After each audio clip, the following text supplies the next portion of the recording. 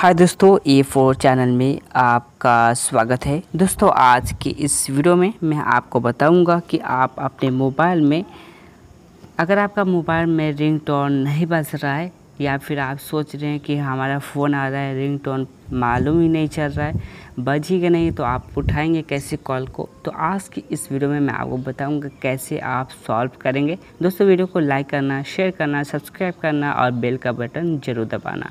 तो चलिए दोस्तों, आज का वीडियो शुरू करेंगे। तो उसके लिए सबसे पहले आपको अपने मोबाइल में एंड्रॉयड मोबाइल में आपको अपने मोबाइल में सेटिंग एप्लीकेशन को ढूंढना है।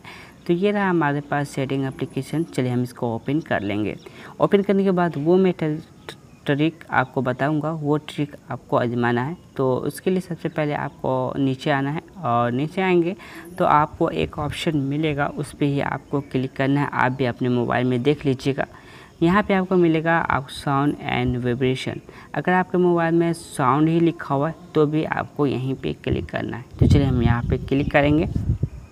क्लिक करने के बाद अब आपको मैं बताता हूँ, आपका रिंगटोन क्यों नहीं बजता है? क्योंकि आपका जो रिंगटोन है, वो किसी ने कम कर देता है। जब आप किसी को अपने हाथ, अपने मोबाइल किसी को हाथ में देते हैं तो वो बंदा गलती से वॉल्यूम को कम कर देता है, रिंगटोन वॉल्यूम को। तो आप सोचते हैं कि हमारा रिंगटोन वॉल्यूम क्यों नहीं अब बज रहा है? तो इसका प्रॉब्लम यही है कि ये बंद रहता है तो इसे आपको बढ़ा देना है।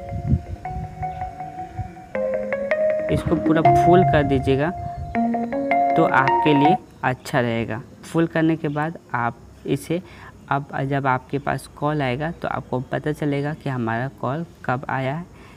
रिंग टोन बजेगा तो आप खुद उठा सकते हैं। तो इससे आप इसका प्रॉब्लम कर सकते हैं। अगर आपको ये यहाँ से नहीं मिल रहा है सेटिंग से तो आपको नोटिफिकेशन को नीचे करना है और यहाँ पे देखना है, इस तरह से अगर आपको ये बन रहता है साइलेंट मोड पे, तभी आपको फ़ोन आएगा तो आपका फ़ोन बजेगा नहीं। तो सबसे पहले यहाँ पे साइलेंट मोड रहेगा तो आपको इसको भी ये यहाँ पे बंद रहेगा ऑफ़ रहेगा तो इसे भी आपको चालू कर लेना है। इसे इस तरह से आपको चालू कर लेंगे तो आपका अब टोन आएगा तो बजेगा। अगर ये कट कुट इस तरह से निशान है तो समझिए कि साइलेंट है, आपका फ़ोन अभी सुनाई नहीं देगा आपको। तो यहाँ पे इसे सही से कर लीजिएगा और इस तरह से रिंग वाला को आप अच्छे से कर लीजिएगा। और ये बराबर रहना चाहिए, सिर्फ़ रिंग इसमें कट कुट नहीं रहना चाहिए।